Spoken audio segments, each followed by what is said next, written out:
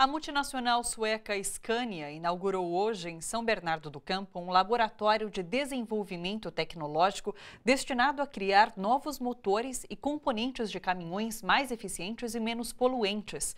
O investimento de 40 milhões de reais está vinculado ao regime automotivo Inovar Alto, criado em 2012 pelo governo federal com a participação do Sindicato dos Metalúrgicos do ABC desenvolver novos motores e componentes de caminhões mais eficientes e menos poluentes. Esse será o papel do novo laboratório de desenvolvimento tecnológico da multinacional sueca Scania, inaugurado hoje na fábrica de São Bernardo do Campo.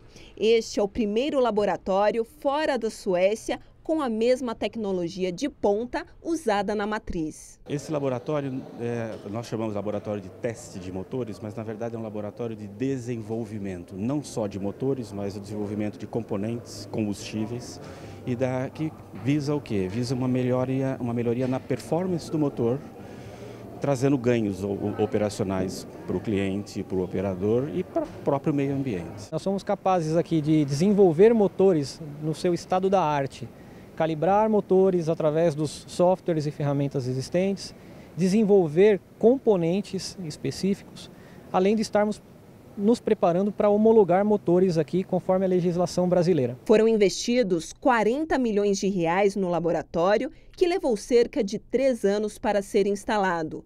Durante a inauguração, o presidente do Sindicato dos Metalúrgicos do ABC destacou que esse investimento é fruto do regime automotivo Inovar Alto, criado em 2012 pelo governo federal com a participação do sindicato. O Inovar Alto prevê incentivos fiscais para as empresas que investem em pesquisa de tecnologia e desenvolvimento no país e melhoram a eficiência energética dos automóveis produzidos aqui. Existe um conjunto de, de leis hoje no Brasil, dentro do regime automotivo, que estimula a pesquisa e desenvolvimento no Brasil. E as empresas têm que cumprir essas diretrizes. Na Scania, cerca de 60 profissionais brasileiros participaram do projeto para a criação dessa nova área de pesquisa na fábrica de São Bernardo. Esse laboratório vai permitir que a engenharia brasileira, os engenheiros aqui na região do ABC, possam ficar, possam estar atualizados com os processos de desenvolvimento. Então, alguns engenheiros foram até a Suécia, foram treinados para poder operar esse laboratório aqui. Isso agrega muito para a engenharia brasileira. Pra...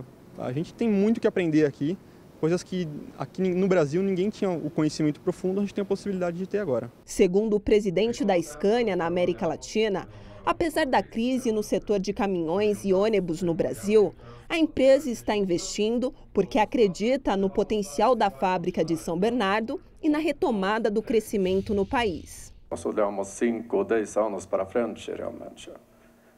E como eu disse, as relações que temos aqui, nós começamos em São Bernardo em 1962. E não tem nenhum plano de desaparecer aqui. Isso afirma mais a, o compromisso que a Scania tem com a região. Né? Ela não iria estar, a Scania não iria instalar um laboratório desse porte aqui por nada.